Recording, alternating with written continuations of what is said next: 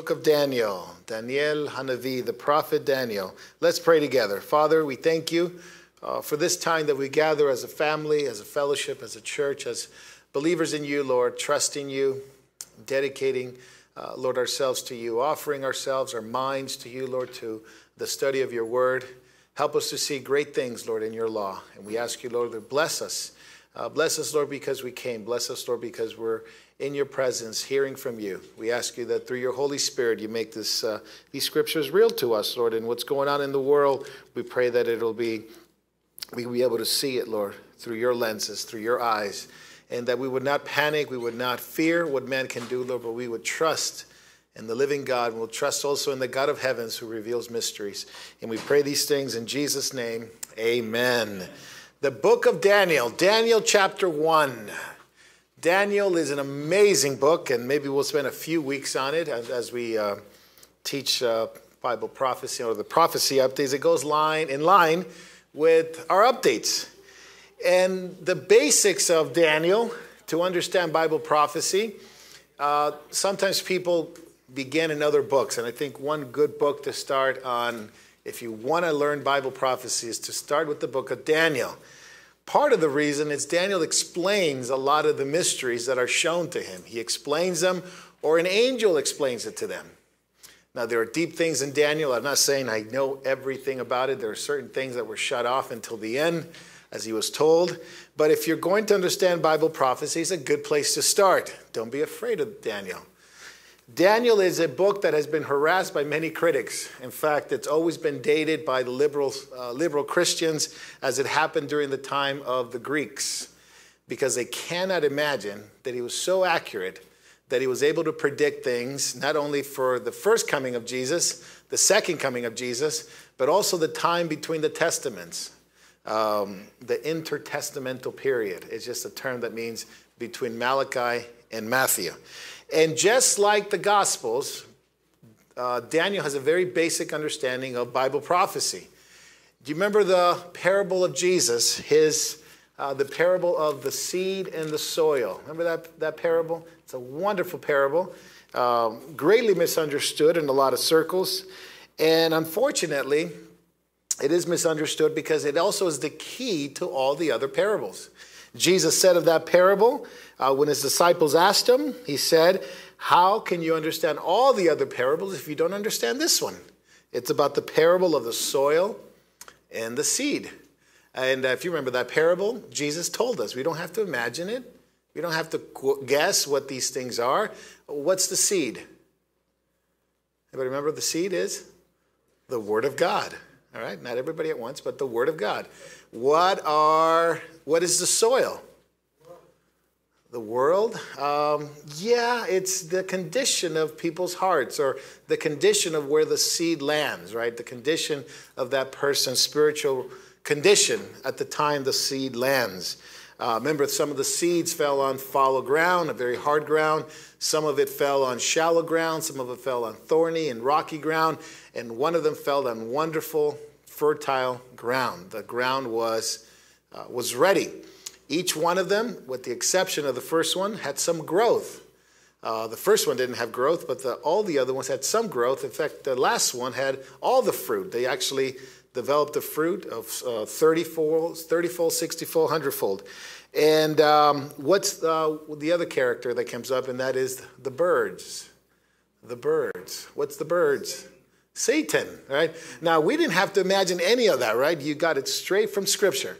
Jesus told us exactly what it is, and so he gave us the understanding of the parables. In fact, he said, if you get that parable, you can understand all the other parables. Because one fascinating thing about Jesus is the fact that he didn't explain all the parables. He explained some of them, but not all of them. Uh, but he gave us the key. The key is if you got the first one, the parable of the kingdom, the parable of the soil and the seed, if you got those, you can understand all the other parables very easily if you just apply them. And so this is the way Daniel is. All the other Old Testament prophets don't explain the prophecies. You ever notice that? Jeremiah, Ezekiel, Isaiah, they don't spend the time explaining it. They just, it happens, it's done. Uh, it's sort of reminiscent of like Jeremiah, you know, the, the, the belt or the book where they burn the scroll.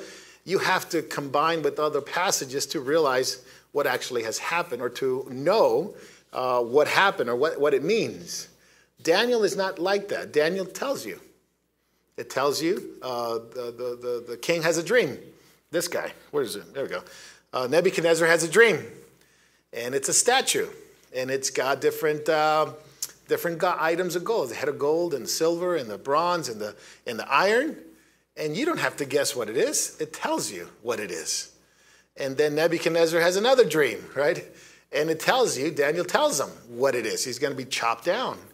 And on and on. And then there's the ram, and then there's the goat, and then all these, the beast, and the angel explains it to him.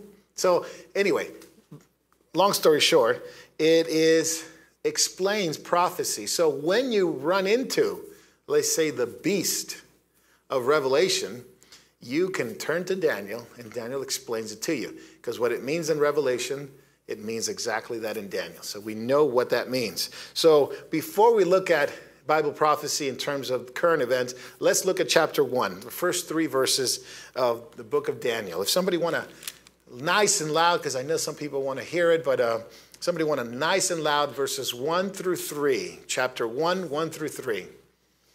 In the third year of the reign of Jehoiakim, king of Judah, Nebuchadnezzar, king of Babylon, came to Jerusalem and besieged it.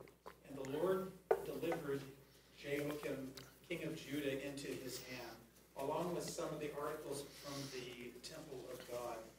These he carried off to the temple of God in Babylonia and put in the treasure house of his God. Then the king ordered Ashpenazar, chief of his court officials, to bring into the king's service some of the Israelites from the royal family and the nobility. So he was taken to Babylon. This is the first attack on Jerusalem. There were three sieges that Babylon did on Jerusalem. Three of them on the kingdom of Judah. This is the first one. The first one is when he carries off the treasures. And when he carried off the treasure, he actually carried off something else too, or someone else. He carried some of the nobility. He carried off some of the people that were uh, actually part of the nobility, some of the sons of Israel, the royal family. In fact, in verse 4 says, Youth who have no defect, good looking, intelligence, every branch of wisdom, endowed with understanding, discerning, knowledge, who had the ability for serving in the king's court, and he ordered them to teach them the literature in the language of the Chaldeans. So he took the best, the very best. And no doubt, this is the first attack. Jehoiakim was the king of Judah.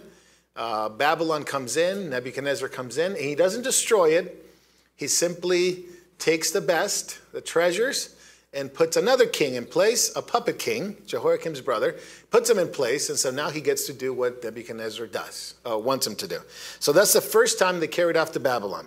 Nebuchadnezzar, no doubt, when you read this, when you read this, he begins to act in a very interesting way. He begins to act like the spirit of Antichrist. He is in Antichrist. And the spirit of Antichrist is moving in him to do things against the people of God. But he doesn't do it right away, does he? He doesn't come and level the place. He does that the third time, 586 BC, circa. It's 586 BC. He destroys, levels Jerusalem. But first, he carries off some of the most interesting things treasures, people. And he takes them to, where do they go? He takes them to a place called Babylon. Actually, the Bible calls it Shinar. He calls it Shinar. It is the place where the Tower of Babel was located. The Tower of Babel was located. So if you go back to Genesis chapter 10 and 11, you will find that this was the place where the Tower of Babel was located Shinar, Babylon. And this is the place, what happened in Babylon? Anybody remember what happened in Babylon? This was the place where? The three wise men, almost there, yeah. the, uh, the Tower of Babel. Yeah. This was the, the Tower of Babel. Yeah, this is the place where the people constructed a huge tower. Uh, it's probably called a ziggurat. Archaeological evidence shows us that, and there's plenty of those around. So um, it's You can look it up online, ziggurat. And it's a great, they're magnificent things. And uh, what it was used for was to man to reach God, right? That was, it was, it was a worship place. It was actually a worship center. And it was a place where they could ascend to be to the heavens. They could ascend to the heavens. They wanted to be like God. Now, who has done that before? Satan. You got to read Isaiah 14, Ezekiel 28 tells us Satan wanted to be like God. He wanted to climb up there. He wanted to get up there. And Babylon is serving the exact same place. So, in the exact same place that the mankind try to reach God, it's the exact same place Nebuchadnezzar takes the people into Babylon, Shinar. So, Nebuchadnezzar is acting in a very, very interesting way when you see it, but he chooses the best. So there's an interesting comparison. When we look at the spirit of Antichrist, we look at Antichrist, we look at Jesus, they're quite diametrically opposed, right? Jesus chooses his disciples. Nebuchadnezzar chooses his people to serve him, right? He chooses servants. Jesus picked 12 to serve him. Nebuchadnezzar picked his 12 or his people to serve him, God's people to serve him and they both go to Israel. They're from Israel. So it's a very, very interesting thing. Now, it says that in verse 5 the king appointed from a daily ration from the king's choice of food and from which and, and from the wine which they drank verse 5 appointed that they should be educated for three years how long did the disciples spend with jesus three years the spirit of antichrist at work Jesus trained them for three years. Nebuchadnezzar wanted to train them for three years. So we can compare the two, right? There's a similarity there because we know that Nebuchadnezzar is operating from the spirit of Antichrist, but he doesn't take just anybody. He takes what? Nebuchadnezzar takes the best, the treasures, right? And he put them into the treasure house of Babylon, his God. He took the treasures. But he took more than the treasure, right? He took something that is more important to God, his people. He capped the captivity, takes them into captivity. And um, it's interesting, Jesus told a parable about a treasure, didn't he? Anybody remember the parable about the treasure? Yeah. Remember that? What was that one? I know I'm exercising a little bit of the muscles you haven't used in a week or so, but it's okay. Uh, we were here Monday, so we got some spiritual exercises done, right? he says that there's a man who goes into the field and finds a treasure in the field. Now, what does he do? The man sells everything he has, basically gives everything up for the treasure. Now, what is the field? The field is the world. The treasure is the body of believers, right? The body of Christ. Jesus comes to save those who would believe in him.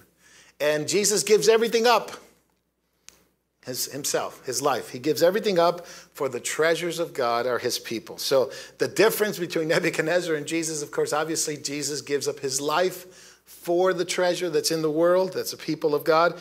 Nebuchadnezzar just takes the treasure, takes the people, and puts them in his own storehouse and there's a great comparison the two. We're not going to get into it tonight, maybe another night, of the, the difference, the storehouses, the, uh, the, the, treasure houses of his God versus the treasure houses of God. You know, that's uh, the vessels of God, the vessels of honor that God has versus the vessels of honor that the Nebuchadnezzar had. So Jesus is like the man who sees the treasure, gives up everything, buys a field, takes the treasure for himself, just like Jesus said he would be the savior of the whole world. He dies for the whole world, and only those who believe in him eventually become his body, his believers become part of the body of Christ. That's the treasure. He gives it all up.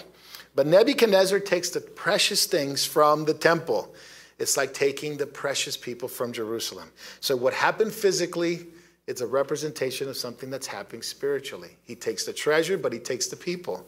He takes what is, belongs to God rightfully, and he makes it his. So, the world wants, I think I put it there, the world wants the best. The world wants the best. What did he want? He want the noble, the smart, the handsome people, the beautiful people uh, with understanding. Verse 3 knowledge, ability to serve the king's court. Who did Jesus choose? Now, by the way, they go to, uh, Nebuchadnezzar goes to Jerusalem to get the best of the best. Did Jesus pick the best of the best? He didn't even pick it from Jerusalem. You can make a case there was probably one guy who was close to Jerusalem. He was probably Judas, was the closest one to Jerusalem, but all the other ones were from Galilee, up north. Now, can anything good come out of Nazareth? It wasn't just a little saying, it was a true reality that they believed in. They spoke funny, you know, they spoke, they weren't highly sophisticated from Jerusalem. They were not the noble, they were not a royal class, but Jesus chose the very worst. The very worst make him the best. Turn to 1 Corinthians chapter 1. We read this on, on, on Sunday, so it just reminded me. 1 Corinthians chapter 1. God likes to choose not what the world would choose. Seemed a little different, a little odd, doesn't it? Nebuchadnezzar picks the best, the noble, the handsome, the smart, the intellectuals. God chose fishermen and a tax collector that was hated. For consider your calling, brethren, verse 26, chapter 1, 1 Corinthians. Not so many wise according to the flesh, not so many mighty, not many noble, but God has chosen the foolish things of the world to shame the wise, and God has chosen the weak things of the world to shame the things which are strong, and the base things of the world, and the despised. God has chosen the things that are not, that he might nullify the things that are, so that nobody may boast about what God has done, because totally it's totally him. So, not many great people in churches, not many uh, movers and shakers is really the people of God, and the world wants the best. And in verse 5, it says that they, they wanted to educate them, they wanted to bring them into the king's personal service. And look at verse 8. But Daniel made up his mind that he would not defile himself with the king's choice foods, with the wine which he drank. So he sought permission uh, from the commander of the officials that he might not defile himself. So they were brought into uh, this place so they should be educated and they would enter into uh, the king's personal service. They would be uh, appointed a ration of food.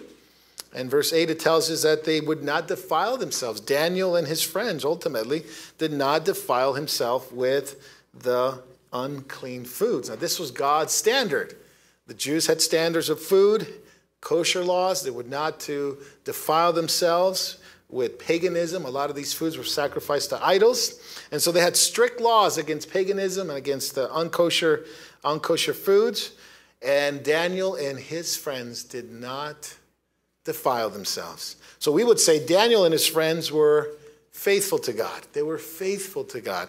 Despite being in a foreign land, despite being young, they did not defile themselves. Now, God cares about this more than the world.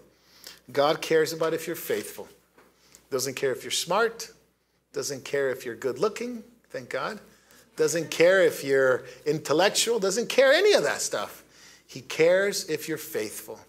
And out of all the people that they brought from Jerusalem, they're all Jews, only four of them decide not to go along with the program. That eye opening, isn't it? All of them. Hey, they were supposed to follow God's law. They were there. They were brought in, foreign place. Hey, when in Rome, do like the Romans do. We're far from home. Well, we don't even know if God's promises are true anyway. He allowed this terrible thing to happen. We just should just live it up. Just be like everybody else. Why be different? But Daniel and his friends did not cave in. And so the world only care the world doesn't care if you're faithful, by the way. The, the world only cares if you if you can produce something for them right? That's the only thing. If you're if you are an intellectual if you're strong if you're smart if you're good looking if you're successful that's what they care about. Whether you're faithful or not they don't care. Don't ask don't tell. But jesus cares. Jesus cares about if you're faithful or not. And daniel was willing to lose it all it says. He told them that he would uh, that he would not eat of the food to, to, to test to test the guard if he would eat the vegetables that he would be a better appearance than those who were eating the food's choice, the king's food choice. And Daniel was prepared to lose his position, lose it all in order to be faithful to God. So uh, if you are not prepared to be faithful, then you're going to run into situations like that. And you have to make up your mind. It says Daniel made up his mind before it even happened that this was going to be the basic principles, right? The basic principles of God's kingdom is this that you are willing to be the least. This is Christianity 101, right? Jesus said, if you want to be the greatest, be willing to be the least. Be the least. If you want to be the greatest, you'll be the least. If you want to be if you want to be the greatest in God's kingdom, you got to be the least here on earth. But if you don't want to be, you're going to be anyway. If you want to absorb greatness in this world, uh, like a little child, Jesus says, you have to earn, you have to uh, uh, enter in like a little child to enter into the kingdom. If you're not willing to be the least, you won't be the greatest. The least will be the greatest, and the greatest will be the least, Jesus said. So these are basic Christianity, basic principles. This is what uh, Daniel is employing here. So, faithfulness. God has called us to be faithful, and that's the only condition that God calls us. We need faith to respond and to know, uh, to know the truth by faith. And so, but we need to grow. And this is the, uh, I don't think we're going to get, eh, not bad. We're, I don't think we're going to get too far into. We'll pick it up next time we study prophecy. Is that God called us right a certain way? He didn't call us to be smart. He didn't call us to be intellectuals. He just called the weak things, the foolish things. But He doesn't want us to keep going that way. He doesn't want us to stay that way. He wants us to grow. He wants us to grow. And in verse 17 it says, as the uh, as this four youth God gave them knowledge and intelligence in every branch of literature and wisdom. Daniel even understood all kinds of visions and dreams. Then, at the end of the days which the king had specified for presenting, the commander of the officials presented them before Nebuchadnezzar. The can talk with them, and out of them, all of them, uh, all not one was found like Daniel, Hananiah, Mishael, Azariah. So they enter the king's personal service.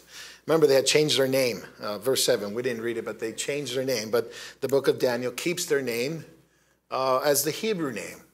And uh, don't have time, but if you look at all these names and how they were changed, it was literally losing their identity in the world. Uh, Belteshazzar, right? Baal, the servant of Baal. Um, was it Mishael? Mishael became uh, Meshach. Mishael. Anybody know what Mishael means? It's kind of like Michael. It's almost, almost identical like Michael. Who is like, who is like the Lord? Who is like the Lord? Uh, Meshach. Uh, the idea there is who is, um, who's like their God. The God is Shach, right? The, they had a God there, and so they were, basically it's the reversal. Who is like the Lord? Well, now he's going to become Meshach. He's going to be the other God servant. So all these names represent an, a losing of identity. You were once a follower of Jesus or follower of God. Now you're going to be serving other gods. They try to change their name. Remember, Antichrist will try to make us do and be completely different than what God's called us to be. And so God gave them gifts. God gave them gifts, callings, right? So not only did God call them to himself, but also God empowered them and he gave them gifts. And this is all like if you read when we read First Corinthians, we're gonna we're gonna um, delve into that on the gifts of God. Romans 12, 1 Peter. It's all about the gifts of God. How can we serve God? Now that He called us and saved us, there's only one way to serve God His gifting and His calling. There's no other way of doing it. You need to be empowered by the Lord to serve Him. That's the only way to serve God is His grace, His gift to you in order to serve Him personally. That's the only way. Otherwise, we'll be serving Him in the flesh serving him in the flesh. And so I'm going to jump to chapter 2 because I'm just trying to wrap it up so we can get into our update. In chapter 2, the king has a dream. The king has a dream. So the gifts that God gives these men are essential, absolutely essential, necessary to serve God and to be useful in the kingdom of God. So, same for us. Absolutely necessary. He calls us, we're nobodies. He calls us but then God wants us to be His, and He empowers us by His Spirit with gifts and callings that we may use it in His kingdom. Now, here's going to be the first test, because right away the king has a dream. Now, um, I'm tempted to read it all, but I'm not going to do it. I'm just going to read a few verses because we got to get we got to get past this uh, this part. It says, In the second year of the reign of Nebuchadnezzar, Nebuchadnezzar had dreams, and his spirit was troubled and he slept, and his sleep left him. And the king gave orders to all the magicians and sorcerers and the Chaldeans to tell the uh, uh, to call in the magicians, the conjurers, sorcerers, and the Chaldeans to tell the kings his dream. So they came in and stood before the king, and the king said to him, I had a dream, and my spirit is anxious to understand the dream. And the Chaldeans spoke to the king in Aramaic, O king, live forever. Tell us the dream. Uh, to your servants, and we will declare the interpretation. The king replied to the Chaldeans, The command for me is firm. If you do not make known to me the dream and its interpretation, you will be torn to limb, uh, limb from limb, and your houses will be made rubbish heap. Basically, you, your family, everything's going to be done. If you're going, if you declare the dream and its interpretation, you'll receive from me gifts and reward and great honor. Therefore, declare to me the dream and its interpretation. And they answered a second time.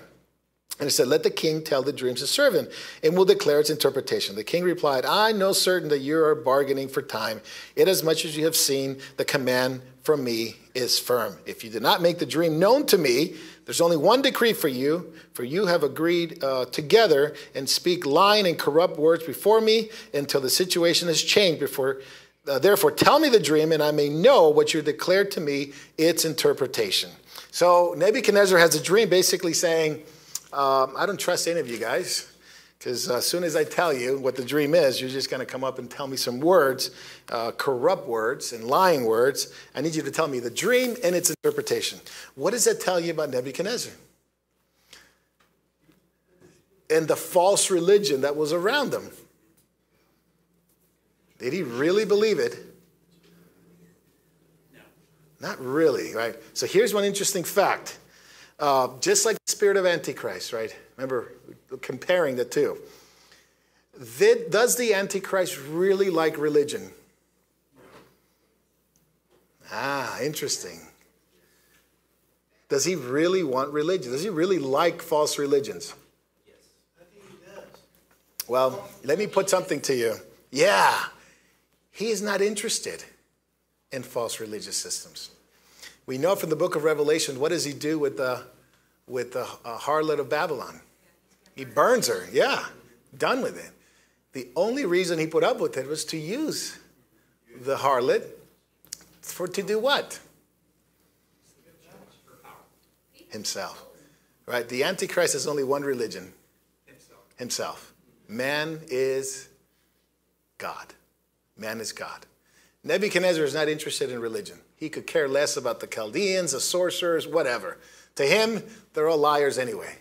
To him, Daniel and the, and the other three men were liars too, because they're all part of this religious system. He only cares about one thing himself. When this dream is interpreted, guess what happens?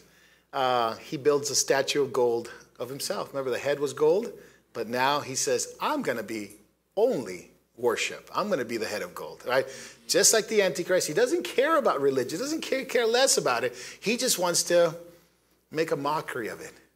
Because by making a mockery of it, he can what? Lifts himself up. Absolutely. Use it. Yeah, absolutely. Use it and lifts himself up to be ultimately worshiped. Because ultimately, what does Antichrist want to do? Second, Second Thessalonians 2 tells us he wants to enter into the temple of God and be worshiped as God. And it actually says, and we worship above also called God, right? Whatever religion, whatever people hold to in their religion as faith, God, uh, the Antichrist will want to replace it with the ultimate worship himself.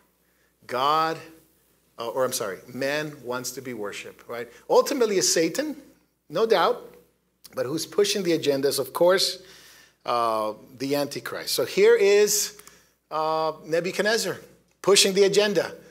Um, me, I don't think he, I, personally, I don't believe he realized that someone was going to come up with the interpretation.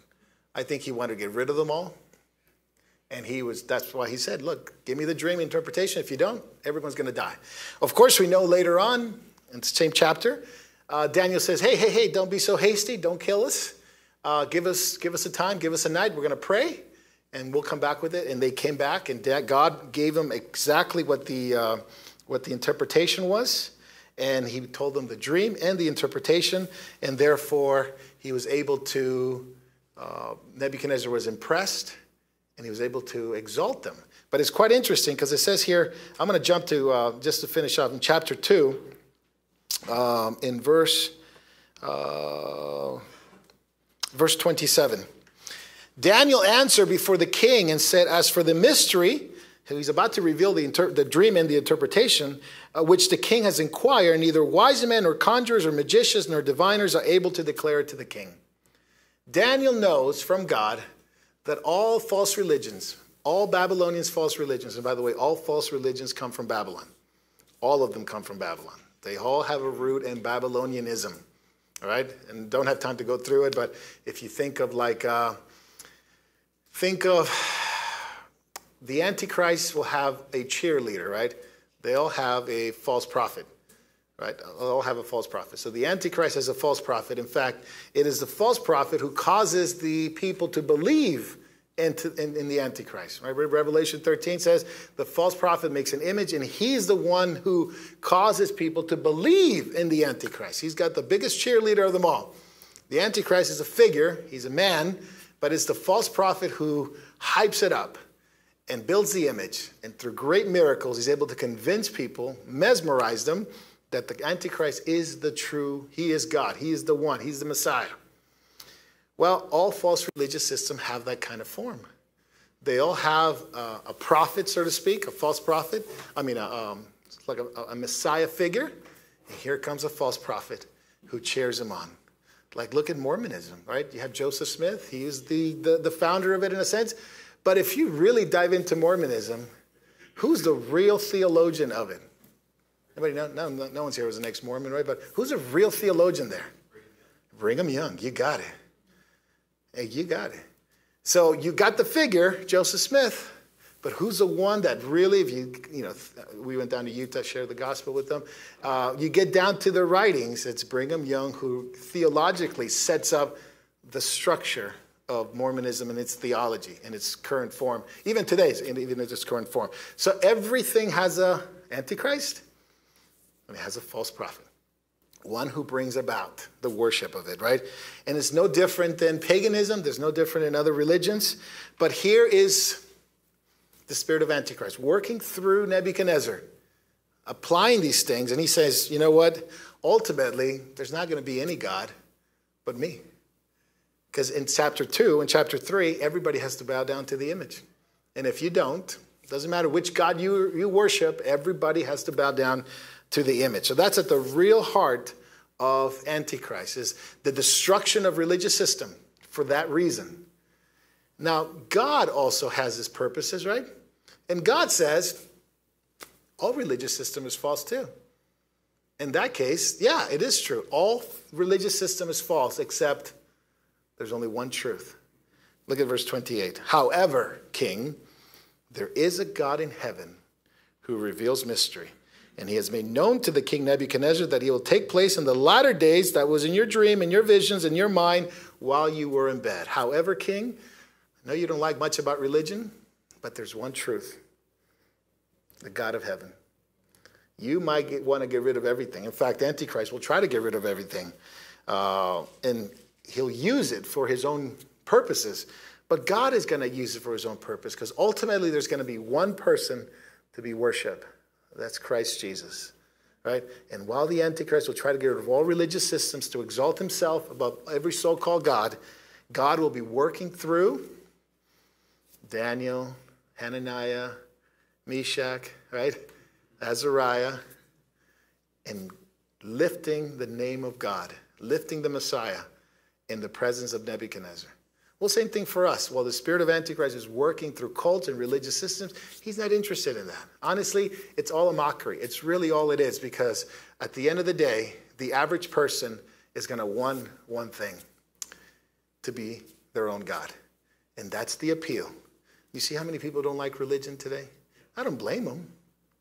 I don't blame them. The crazy cult and all this stuff and false teachers and I don't the average person has all the right to believe, but ultimately they have to believe in Christ. They have to trust in Jesus. The average person wants to get rid of everything so he doesn't have to answer to anybody but himself. And ultimately, it's the, the will of Satan. It's the will of Satan for man to be like God. What was the first temptation in the garden, the first lie in the garden? When you eat of this, you will be like God. Back to the same thing. We're back to Genesis. We haven't left elementary school class much, right? It's still the same thing. What you learn in elementary, you know, Jesus loves me, this I know, for the Bible tells me so. Still the same, still applicable, but it's just a, a deeper meaning to it. Because ultimately, it's all about God's people. It may not be Azariah and Daniel and, Mish- and uh, uh, uh, Mishael here, Uh, but there's Keith and Dana and Frank and Anthony, right? Those are the Daniels, the Mishael, the, the, the, the, the Azariahs. They're the ones who are going to have to tell the truth. They're the ones who have to come before the system of the world that wants to say, forget all religions, man's the only one that counts, and so lift man up. No, we say there's a God of heaven who reveals mystery. There's one Messiah, there's one mediator between man and God, and that is Christ Jesus. And that's, the, that's what the gifting is for. And we'll get into it next time because uh, I gotta I gotta hurry. But that's what the gifting and the calling is for, so that we will be able to tell the truth about God in a difficult place. Because they were in Babylon. Sometimes I feel like I'm in Babylon. Sometimes I feel like I'm in a foreign place. Sometimes I feel like I'm a Martian, uh, just because of how how rapidly things have changed in the world and where it's headed. And yet, there's a God of heaven who reveals mysteries. There's a God who has shown us his word and his truth, and we have it. But who's going to be the one who proclaims it? They're going to be great temptation to bow down, to cave in, to eat the unclean food sacrificed to idols, to participate in idolatry and immorality and paganism. But ultimately, it's faithfulness, because that's what God is after. So if you're faithful, God will use you. God is not interested in how smart you are. None of us would qualify if it was a, it was a, it was a competition of smartness, right?